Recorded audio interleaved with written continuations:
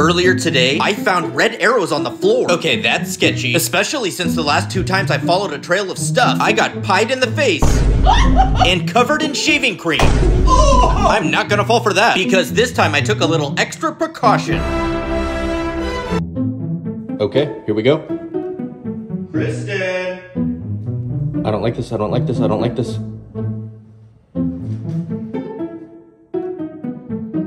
Kristen? Oh!